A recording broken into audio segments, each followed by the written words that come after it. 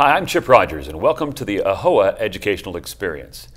This week, my guests first, Raj Goyal, a former Kansas state representative, big big friend of AAHOA for many years. Absolutely. We're glad you're here with us. Thanks for having and Lori Kalani, who is a senior counsel for Orrick, Herrington, and Sutcliffe. And Lori, thank you for being with us today. My pleasure.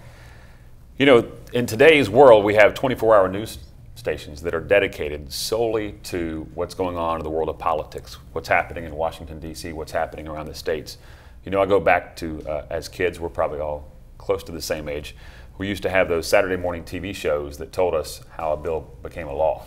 It was uh, Schoolhouse Rock, right, if I recall. Uh, Schoolhouse Rock, to my knowledge, doesn't exist. I'm not sure Saturday morning cartoons exist anymore. but the world of politics now, which was used to be relegated to the six o'clock evening news with, with Walter Cronkite, is now with us 24 hours a day, seven days a week. And uh, we've almost made uh, rock stars out of, out of politicians in some way. Um, but the fact of the matter is, unfortunately, a lot of people don't know this process. They know the players, they see them on TV, but they don't really understand what is all this about. How do laws get made in, in, our, in our local areas, in our state, and in our country? Uh, and that's what I'd like to, to start with, just really the basics of, you know, Raj, you served in the State House of Representatives in Kansas. Uh, explain to us, you know, how do you go from having this idea to actually turning it into something that's a law? Sure. Well, first, thanks a lot for having me. And uh, I should say uh, I have an 18 month old daughter, so I can certify Saturday morning cartoons exist. Uh, Nickelodeon's doing very well. Right. Uh, but you know, the legislative process, in many ways, uh, I found in my four years in the legislature to be both more simple and more complex than than many people would think. Uh, it's a lot more simple, uh, especially at the state legislative level, to get bills passed and to get them introduced. And so, uh, to answer your question directly, uh, when a legislator has an idea, he or she can have a bill written, have it authored, introduce that bill, and have it go through the committee process, have it pass uh, both chambers, uh, and then uh, and then if a, a, bill is presented to the governor, he or she signs it. And so along the way, of course, is the standard building blocks of politics, marshaling support of your fellow legislators if you're a legislator who's championing the bill, or if you're an outside group who wants that bill passed, getting support within the legislature and from the outside community to support that idea. And Lori, you know, at, at the state level, we have uh, as Raj pointed out, I mean, it's a fairly simple process, and I guess textbook wise, it's probably that same process at the federal level, but it's far more complicated. And it takes a lot longer. I know we can actually pass a bill in the State House of Representatives and, and through the Senate and to the governor and do it all in one one part-time session. Yeah, right. One session. But in Washington, I, I, heard recently the average law takes seven years wow. to, right. to, to actually go from start to finish. And why is that so difficult? I've, I've heard the same number, seven years, and I think every year, just to give you some context, uh, it, I know in the 109th Congress, I believe 10,700 bills or, or mm. thereabouts were introduced, and about 1,700 of them became law. And so it's a very long, uh, drawn out process. I think, one, because the committees are larger, two, because you don't just typically have uh, one legislator who sponsors a bill. It's typically a lot of work that goes behind that where there's draft bills and, and marshaling the support of your colleagues may take years because that colleague is not going to sign on until they've talked to all of the people on both sides. So it's just a longer process. The committees are larger, the subcommittees often have to hear the bills first, and, and so the process is just sort of double for everything that's going on in the State House. And, and I've had experience in both the federal and state arena, and I I see a huge difference in, in, in the process and the and the timing. You know, it, it seemed I have constituents that will come to me, and I'm sure you had constituents that would come to you, and you had friends that would come to you, and they'd say, "Well, here's a good idea for a law," and the, the expectation is that if it's a good idea, it should happen like overnight. That just, just and, and in a way, um, it's probably good that our system is set up that even the best of ideas must go through a fairly arduous process. And I mean, you, you saw that even at the state at the state level. You just can't take an idea and turn it into a law like that. No, there's uh, you know one thing that uh, former governor of Kansas uh, taught me that I'll never forget is that it's a lot easier to kill something than it is uh, to get it passed, and I think we all Right. can relate to that. That uh, saying no in the legislative process, uh, it's a lot easier for those people rather than promoting an idea and overcoming the many objections that can happen. And uh, as you mentioned, the process is sometimes a very healthy one, where there's a good idea, uh, where there's a legislative proposal, and uh, as as it, as it continues in the legislative process, people will raise uh, questions or concerns, and then those get addressed, and the bill changes accordingly. And so, uh, when the process is working at it at its uh, in its best way, uh, an idea germinates and goes through a process, becomes better, and if it can marshal a majority of support, becomes a law. And you, you highlighted something there that I think sometimes gets lost on the casual observer of politics, and that is that you don't essentially start with an idea and expect that whatever that idea was from day one is what the governor or the president or, the, mm-hmm. or the mayor of the city or whomever is going to validate it as a new law or ordinance. That there is this process, what we call the amendment process, and that can dramatically change from where you start to where you end. Lori, talk about amendment process and why that is so important. So the amendment, so once a bill gets to the committee level, and the committee has reported that out, there's, there's an amendment process, and that would vary depending on the state, and it's, and there's certainly a different, a slightly different process at the federal level. But in some cases, I've seen bills become amended with an entirely new bill.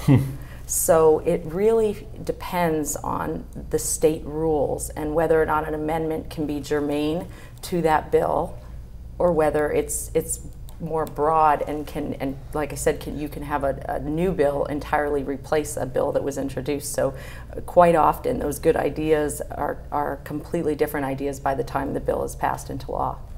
And you, you mentioned there were, you said 10,000 uh, some odd bills introduced in, in the federal Congress. One way that some of the states handle this is to say you can only introduce a certain number of bills. Now, in, in my home state of Georgia, we're, we're not limited at all from, we can introduce 100 bills if we'd like.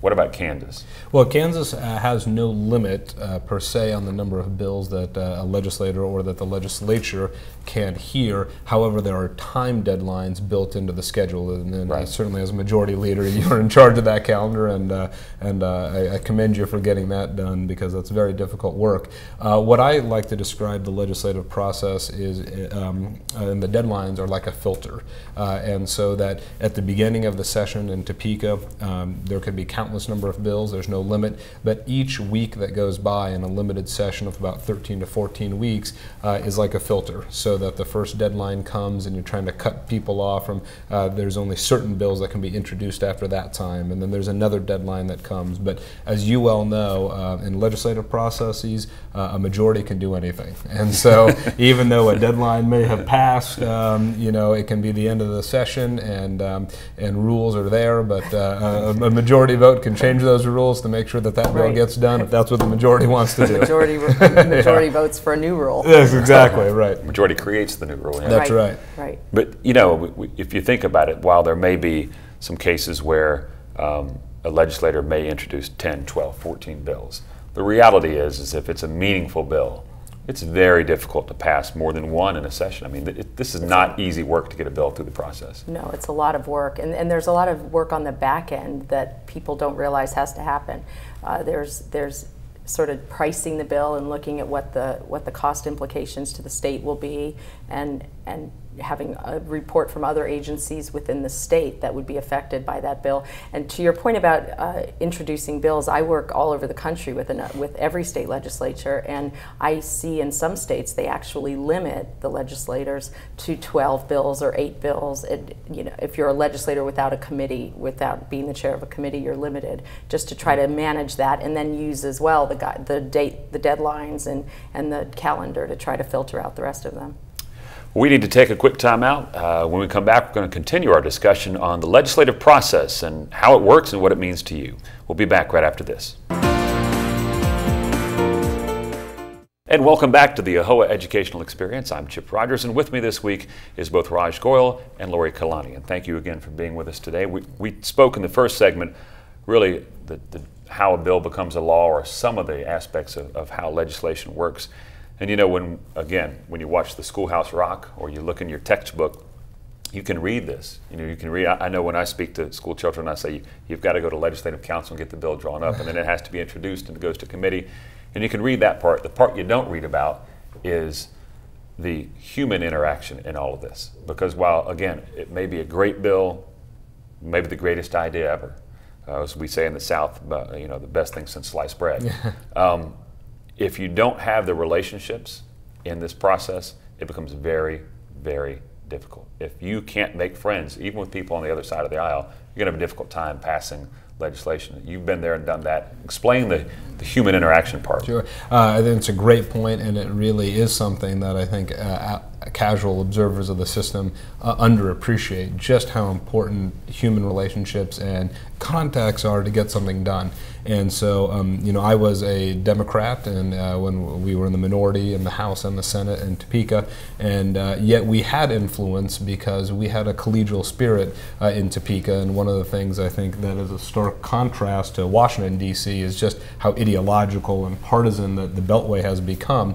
Whereas I think in state legislatures there is uh, perhaps more of a focus, um, not all the time, but on the content of an idea and on getting something done for your constituents.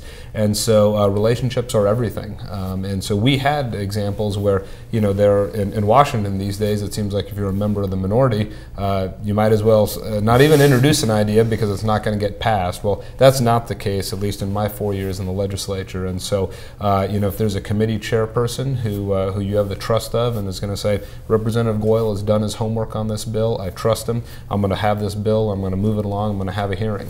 Uh, and if you don't have that trust, you can find life in the legislature to be pretty lonely pretty quickly. Yeah. Lori, you, you've seen this from both the state perspective and the federal perspective, and, and, you've seen more states than we have. I mean, I've seen my state, you've seen yeah, your right. state, you've seen a lot of states. Yeah. Um, is that fairly common? Because I know in Georgia it's very similar to Kansas. You know, yes, it's there are Democrats and Republicans, but oftentimes in our state, because we're an interesting mix where we have one large city that's over half the state's population, our battles are more mm-hmm. urban versus rural. Right. Um, I mean, speak to that a little bit about the, maybe the differences you see from the states compared to the federal government as it, as it pertains to how this political machine works. I definitely think it's less partisan in the states. I mean, we have a system where people run as a Democrat or a Republican or an independent, but when, when the rubber hits the road, uh, so to speak, the, the members of the legislatures get it together and they get the work done more so than we see in the federal at the federal level. Uh, you're absolutely right. If, if you're a if you're a minority in, at the federal level, you may as well pack it up and take it home today. for you know for a lot of issues, it's just mm-hmm. it's just a, a, fight of the wills. So I think that uh, the relationships definitely at the state level matter, and not only amongst the legislators themselves, but amongst the outside the business community, the constituents. I, I, think that maybe it's because they're in the state all, all week long and they're not in DC, mm. as opposed to the federal legislators. They're they seem more connected with their constituents, and, and there's an open dialogue there to help educate them. You know, one of the uh, the, the things that I think sometimes gets lost in, in how laws are made and how they're actually implemented and enforced is sometimes a, a non understanding of the division of powers we, have been talking a lot about the legislative branch, but the executive branch, and in some cases even the judicial branch, has the ability to, uh, with the judicial branch, interpret law in a certain way, uh, and with the executive branch, I mean, it is their role to actually enforce the law. So uh, it's not just the legislators or the legislatures uh, that are impacting the laws that we live by. I mean, there are other branches of government that have a big impact. Absolutely, and in fact, uh, you know, you mentioned the executive branch. Uh, I certainly didn't appreciate until I served in the legislature the role of agencies uh, in the legislative process. Uh, I served on the tax committee, and I was at 9 a.m. every morning uh, doing tax law. So you know, something we all jumped in, uh, you know, out of bed to get to. although jokes aside, it was actually a very, um, it was it was probably my favorite committee in the legislature. We did good work. It was nonpartisan. Uh, but we worked very closely with the Revenue Department uh, um, of, the, of the state of Kansas to make sure that uh, we had information from them, not taking the lead from the Revenue Department. Sometimes they had bills that they wanted to get introduced. That some people forget that uh, you know the governor and the administration introduce a lot right. of legislation, not just legislators or outside uh, uh, parties. Uh, but we worked with the Revenue Department to make sure that we understood an issue or to get cost estimates, like you were mentioning. And so um, I think that it's very important that people do understand that the executive branch uh, is a very important part of the legislative process and getting things done. And of course, the judicial branch is vital. Um, right. Now, their work is uh, very distinct uh, for obvious reasons, uh, legal and ethical, and, and uh, uh, from the legislative process, but on issues from school finance to taxes to really you name it, we always in the legislature were thinking about whether or not this would, if something was a, questionable or there was a concern of how would the courts treat this, and what would the courts do uh, uh, with this piece of legislation? And that was an important concern to keep in mind.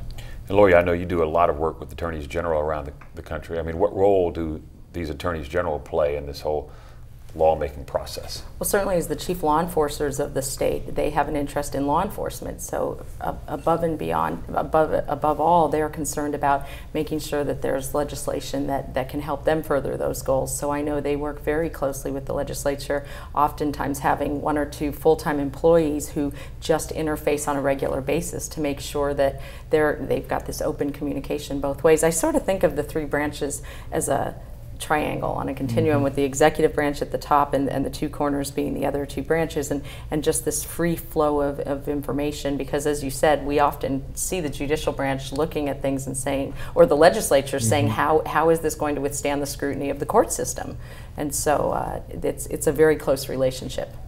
Final question for this segment. I want both of you to touch on it for just a moment. We started the show and I, I referenced the fact that we live in a time where there's 24 hour news that's really dedicated to the, almost the political process, or at least politics in general. Um, and some would say that's a good thing, some would say that's a bad thing. Mm. How has it impacted um, the, the process of, of, making laws? I mean, for example, uh, the healthcare reform uh, probably, I guess, in my political time, received more scrutiny mm-hmm. at the cable news network level uh, than than anything else I've seen. How has that impacted the process? Well, I certainly agree about the healthcare reform debate. I'll never forget when a constituent asked me about if the Senate Finance Committee had passed a bill, and I was surprised that uh, people knew there was a Senate Finance Committee up in Washington. And so, uh, the role of the media and blogs and the internet uh, has obviously transformed politics. And and I, for one, personally think that uh, more transparency is always a good thing. Uh, and so, yes, there is a, a feeling in legislatures that perhaps without all this sunlight, uh, maybe more deal making could happen. There could be more studied consideration of issues. Uh, at the same time, uh, I think it's uh, the more that we have the legislative process and the political process open, transparent, let the public uh, give their input, uh, and let all sides give their input, I think only benefits the process. But in terms of the actual day to day, it has no doubt changed things people realize that a, um, a committee vote uh, can be on the front page of the newspaper uh, immediately and that a blogger will be in the room and tweet it out. Uh, and so I think that's put legislators, in a sense, on their toes. And I think for democracy, that's probably a good thing. What do you think, Lori? I tend to agree with Raj that it's a good thing, but what I've seen amongst the states is that many of them have state legislative channels. Did mm -hmm. Kansas have one? Uh, no, we don't. Georgia?